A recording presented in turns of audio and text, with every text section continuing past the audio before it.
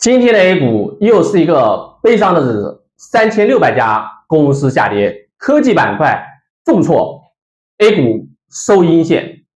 明天重要的会议结束了，但是就在这个情况之下，美股盘前大跌。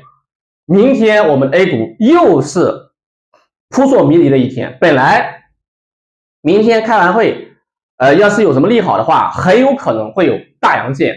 那明天 A 股还能不能涨呢？我们要详细讲一下了。首先呢，美股昨天是大涨的，但是盘前的美股跌幅巨大啊，盘前美股是啊大跌的。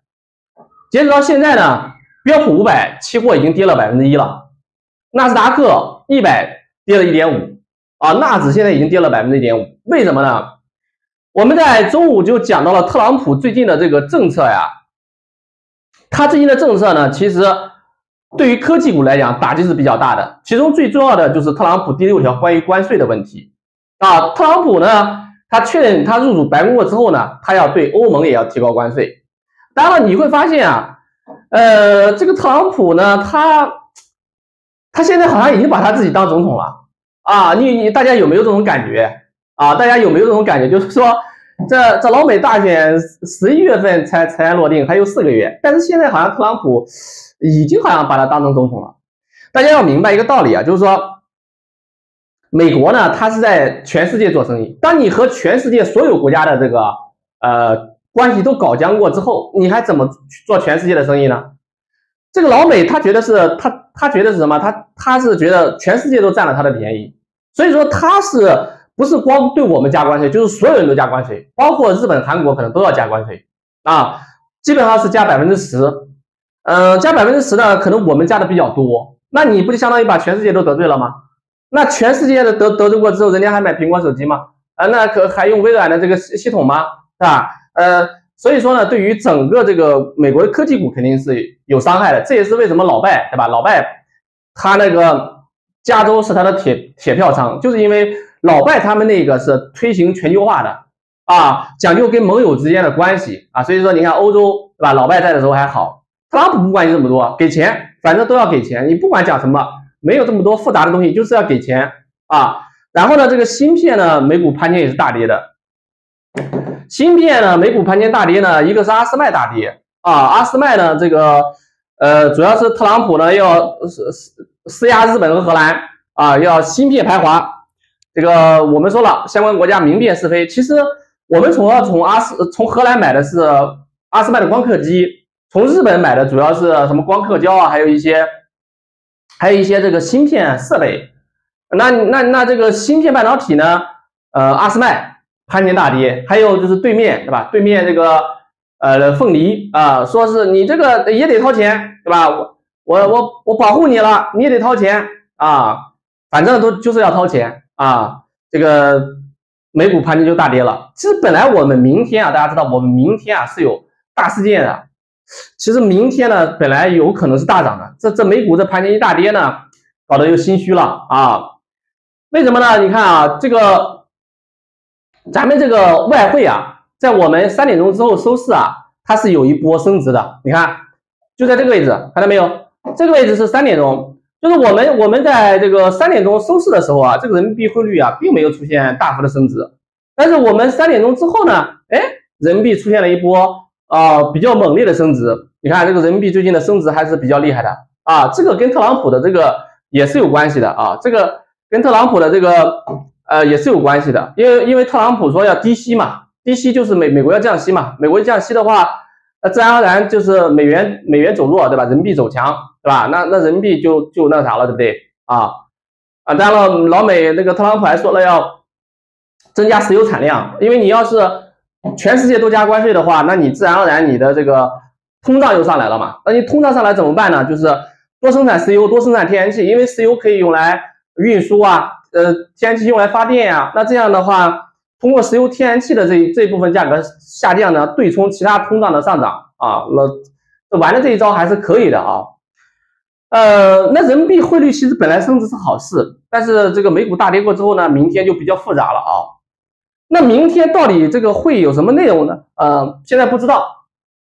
啊比较比较保密啊，就是全世界都在关注的大会，却听不到任何消息，看不到任何宣传啊。但是有一条评论讲的特别好，他说真相还在系鞋带，谣言已经爬了八条街，看到没有？说真相啊，我觉得这个，我觉得这个网友啊，他是属于这个嗯比较有才华的。他说真相还在系鞋带，但是谣言已经跑了八条街了啊！就是我们明天，我们明天对吧？这个有什么消息？这个东西还没有真相，但是谣言已经跑了八条街了。呃，因为明天呢是比较重要的，所以说呢，明天比较重要的情况之下，今天 A 股是奋力护盘。啊，你一定要记住啊！我讲的两个字叫做奋力护盘。今天的 A 股真的是奋力护盘了，它真的是用力了，它真的好像把全身的力气都用完了。我估计啊，就是也许国家队之前没有感受得到，但是这一次啊，国家队真的感觉到了。啊，呃，贝莱德当年说过的那句话，经典的话，买不完，根本买不完。今天国家队绝对感觉到了，什么叫做买不完，根本买不完。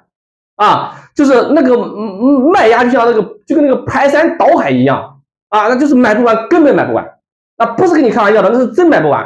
你看看今天的沪深三百，你看看今天的沪深三百，那沪深三百这个今天的市值沪深三百的成交金额创下了今年三月五号以来的天量，合计达到了两千三百五十亿。你要知道，平时沪深三百的成交量就是什么，也就是个七十个亿，就市值加起来也就是七十个亿。今天一下子在之前的基础上放大了四倍，啊，放大了四倍。但是就算放大了四倍，今天的沪深三百 ETF 也就也基本上没涨，啊，就是国家队今天花了很大力气，花了这个很多的力气来买，但是最终的结果是什么？买不完，根本买不完，啊，你根本买不完，哎，所以说我感觉这个国家队这两天应该是充分感觉到 A 股之艰难呀，对吧？李白说了，蜀道难，难于上青天，想让 A 股涨起来，真的也难于上青天。你知道前面三年发了两千多只家公司的股票呀？你知道这些到时候要解禁的山呼海啸般的抛压就来了呀，对不对啊？所以说呢，你看资金呢，这个都去买北交所去了，北交所盘子小嘛，人家就很就是很疑惑，就是说为什么国家队花了这么多资金还是拉不起来 A 股呢？我觉得有一篇文章他写的特别好，当然了，他这个写的特别文写的比较好呢，我给大家稍微读一读啊，这个应该是比较有道理的啊。他说 A 股为什么就是国家队这个使劲在买，但是。呃，就是不行呢啊！一国家队在秀肌肉，但是周围呢都是冷漠围观的老乡，大家为什么不跟了呢？主要是没有赚钱效应。比如说，包括今天创业板涨了，但是三千六百只股票下跌，基本上涨的股票是非常少的，指数稳稳的在两千九百五十点一线，但是个股惨烈的很。这个四大行、四大行还有长江电力还在涨啊，三桶油已经倒下来了，但三桶油倒下来，其实它今年今整体的涨幅还是比较大。中小微盘股啊，堪比年初的两千六百三十五点。而且市场涨得好的都是回避散户的，这一点很重要。市场涨得好的都在回避散户，散户不买银行高股息，他们天天涨；散户买不了科创板，他们也涨得不错。散户买不了北交所，今天暴涨七点二，涨幅超过十个点的有近百家。主力公然把散户当被炒盘，因为股民扎堆的板块啊，套牢盘太重，他们也不想救啊，反而还踩了几脚。这就是 A 股最大的困境啊！大家都是心怀鬼胎，都想着对吧吓别人，市场无法形成做多的合力。明天呢，嗯，反正明天呢就很重要，这就是 A 股为什么就是国内花了这么多资金，因为它涨的都是什么银行啊、电力啊这些，散户没有，散户重仓被套什么套在什么医药啊、酿酒啊，还有什么这个呃芯片半导体呀，都在这个上面。那这些赛道股今天终于回光返照了一下，然后呢跌了好多年，终于回光返照了一下啊。他这讲的应该是比较有道理的，唉。然后呢，现在股市走的比较弱啊，又找人背锅，呃，找人背锅，你看转融通停了，A P O 停了，呃，现在呢，就是说还能背点锅的呢，就是量化，对吧？量化，量化呢，这个嗯，量化导致 A 股下跌和低迷。然后呢，量化也说了，这个锅我不背啊。这个换方回应存在很大的误解，换方是中国四大量化之一嘛，量化投资机构强烈希望 A 股市场长期健康向上的上涨，我估计他讲的也是真的。你觉得量化难道不希望 A 股长期上涨吗？他也希望啊，他是被迫的这个做高抛低吸的。股市要一涨，谁愿意做高抛低吸呢？对不对啊？他说呢，市场存在很大的误解，一些观点认为市场高开低走都是量化高抛低吸，市场上涨或下跌都是量化在追涨杀跌，对吧？这是这是这是这是不对的啊！他这个给自己呢，呃，摘了一下这个的，摘了一下这个，说不不不是因为我，是吧？不是因为我，嗯，哎，你要说 A 股这个，就是说为啥为为啥是这样低低迷呢？还是没有挣钱效应，所以说所以说 A 股的这个开户数呀，你看就是每每每个月都在都在下降啊！你看这个是呃上交所二零二三年的这个股民的开户人数，二二年一月份的时候。还有两百五十万啊！二二年二月份的时候，股市涨过一波，有个四百万。但是你看，就是最巅峰的时候啊，我们最巅峰的时候，这个上上海那边，呃，这个开户的这个呃呃开户的数呢，基本上能达到四百万啊。巅峰时刻是二零二二年的三月份，有三百九十六万，大概有四百万在开户。但是但是我们现在再回过头来看一下，就是截止到今天为止，只剩下一百三十三万了，你看到没有？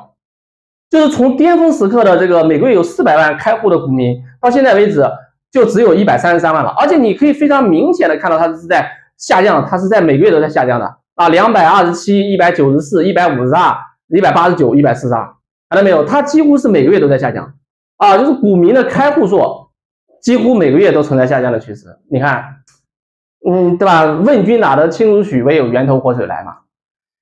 所以说 A 股现在的这个问题非常多，哎，特别多，你说不清楚啊！而且而且而且以前的股市呢，还有技术分析，咱们看看什么 MACD 啊，看看量价还行。但是现在的 A 股是已经是一个什么纯消息市，什么消息，什么板块有利好涨什么板块，什么板块有利空，然后就嗝屁了。比如说像今天的石油大跌，煤炭大跌，跟特朗普说要搞这个开发大规模开发石油有关系，这这就对吧？就是一个已经变成了一个比较纯粹的，纯粹的什么消息市。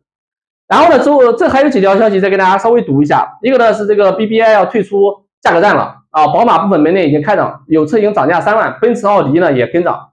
这个燃油车呢，呃，这个纯电的，就是你再卷，你再卷，你使劲卷，可能也卷不过这个呃这个新势力，所以说他们也不卷了啊，也放弃了啊，也不卷也放弃了。然后呢，这个中证协啊，中证协完善保贷负面评价公示机制，新增低类，暂停业务类。嗯，中证协呢，这个保贷呢，就是大家知道，就是前些年啊，就是 APO 对吧？APO 上市，这个保贷呢，它是要签字的。其实我们现在这个保贷比以前管的要严啊。以前比如说你这个保贷你是中信证券的，到时候呢出事了就罚中信证券，那个保贷其实大不了就被辞退嘛啊。但是呢，保贷它基本上就没有什么其他的责任了。以后 APO 这个保贷呢，它还有暂停业务类，你保贷也是要赔偿这个股民损失的。啊，所以说呢，这个 现在我估计 IPO 真的没有人敢乱签字啊，所以 IPO 的数量呢，这个下降的速度还是比较快的，这对以后提高呃上市公司质量呢，应该是有帮助的。然后呢，这个上市公司质量呢，这个财务造假的，呃，当时的这个代表人物恒大，恒大的保保保代呢，普华永道，普华永道呢，这个呃受遭受到信任危机过之后啊，这个大部分的呃大部分的客户都已经跑了。所以说呢，他要裁掉一半的中国金融审计人员，嗯，回应称调整是艰难的决定，那就意味着是真的了，他要裁裁掉一半，裁掉一半中国金融审计工作人员。所以说，金融行业降薪也比较厉害啊，金融行业的降薪呢，也是也是啊，比较比较牛的啊，也是比较比较凶的啊。最后讲个段子吧，现在 A 股也没什么好讲的了，就跟大家讲个段子吧。呃，有个段子是比较有意思的，说我们现在的国内的 A 股啊，就像一个穷人家的状况，怎么像呢？他说这个家里啊，可能有五个兄弟姐妹，但是家里呢只有一条裤子啊，可是出门不能光屁股呀，所以谁出门谁穿谁这谁才穿这条裤子啊。今天锅模块宽，明天呢人工智能穿，后天中字头穿，大后天电网穿，大家只要出门就都有的穿，但是因为家里只有一条裤子，所以说在某个时间内呢，只能是那个出门的人才有资格穿。因为在某个时间内只能一个人穿，所以这个穿了的人，其他的人就得光屁股在家里躲着，像不像我们 A 股？你看，呃，今天中字头涨，其他的都得跌。今天人工这个这个什么呃消消费科技涨，其他就就得跌。它没有什么呢？它不像二零二二零年，二零二零年就是你说酿酒涨，医药、新能源，它就盘在那里不怎么跌。但是现在就是一个板块涨，另外一个板块资金又被抽走了，就得下跌。就跟那个在穷人家里一样，对吧？穿了的那个人还好，对吧？这个没有穿的呃，就一条裤子，那嗯，那个出门的人穿走了过之后，其他都在光屁股，光屁股在家躲着，对吧？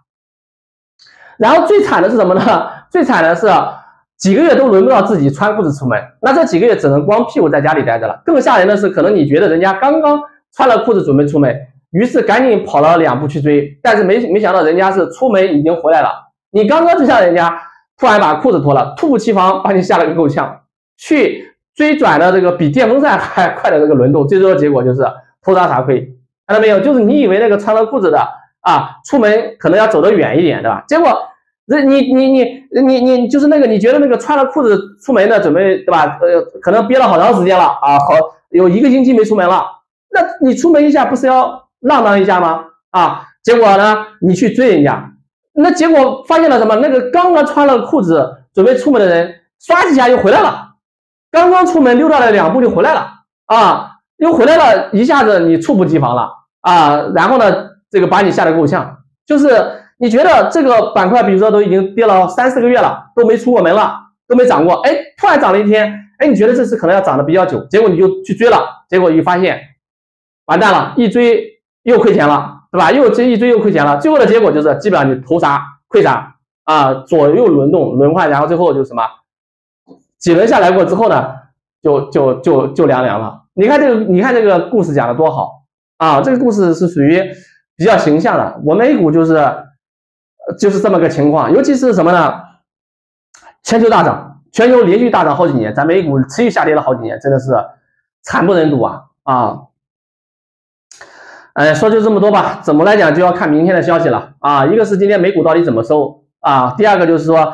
不过，要是美国要是科技战，呃，就是美国要是特朗普一上来过之后啊，这个呃关税战开打，他这个关税战可不是说光加中国的啊，是全世界的所有国家都加关税，只要是美国进口的任何一个东西，全部都要加关税啊。他的目的就是，哎，我东西买的少了，或者别的国外的东西多了，那那我还需要怎么办呢？我国内自己生产，这样的话有助于制造业回流嘛，有助于增加这个呃工资嘛。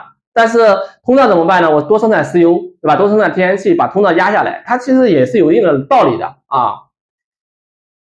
嗯，明天明天就看这个这个会开完能能什么消息吧，然后看一下这个美股科美股这个今天晚上是是会涨还还还还是会跌啊？因为这个要是关税一打起来的话，对美国的科技股伤害还是比较大的。